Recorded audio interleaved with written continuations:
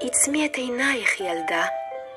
אבא יקנה לך ציפור נחמדה, ואם הציפור תיעלם בתנופה, אבא יקנה לך טבעת יפה. ואם הטבעת תאבד, את תראי. אבא יקנה לך מסרק וראי. ואם המסרק לרסיסי מתנפץ, אבא יקנה עוד אחד בשבילך.